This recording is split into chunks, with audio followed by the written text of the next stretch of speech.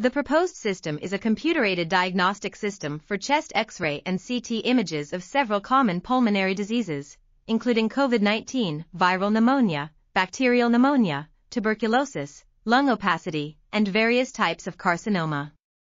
It uses super resolution SR techniques to enhance image details and deep learning DL techniques for both SR reconstruction and classification.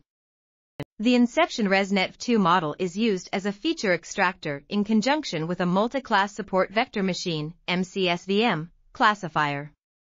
The system was tested on three publicly available datasets of CT and X-ray images and achieved a classification accuracy of 98.028%. This system has the potential to serve as a valuable screening tool for lower respiratory disorders and assist clinicians in interpreting chest X-ray and CT images.